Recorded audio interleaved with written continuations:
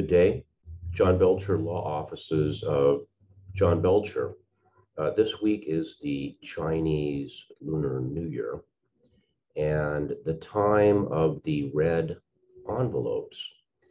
Um, the red envelope is a tradition that goes back uh, very far in uh, Chinese history. Some say to the Han Dynasty, um, 202 BC to 202 AD.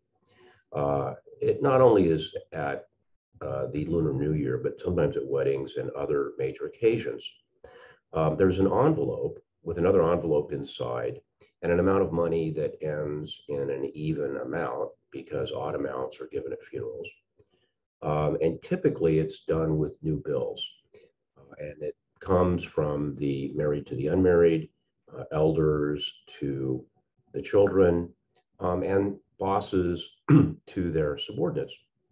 The red envelopes became subject to a lawsuit in Yunnan province in 2019, where a woman claimed that her divorced parents had taken her $9,000 in red envelope money and never paid it to her.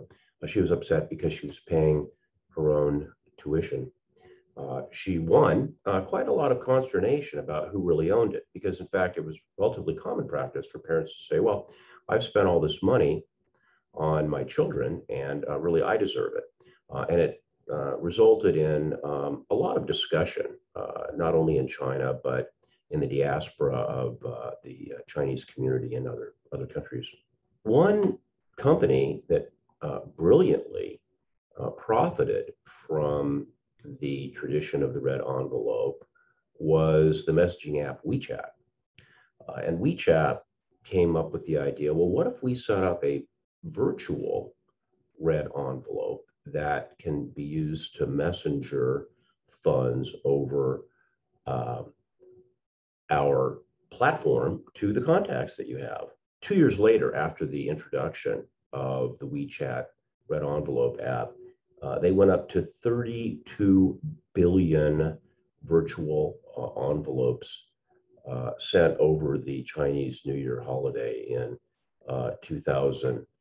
Uh, uh, 16. Uh, a, a, a, brilliant tactic and a brilliant move, but one that reflects the modern realities of how money is sent.